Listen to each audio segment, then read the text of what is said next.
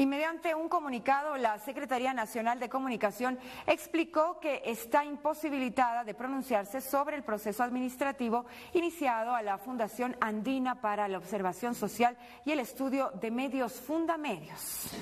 Esto, no, no pueden hablar de esto antes del plazo de 10 días para que la organización pueda presentar los descargos pertinentes. En el comunicado además se señala que la SECOM vela por el cumplimiento de los estatutos de las más de 100 organizaciones.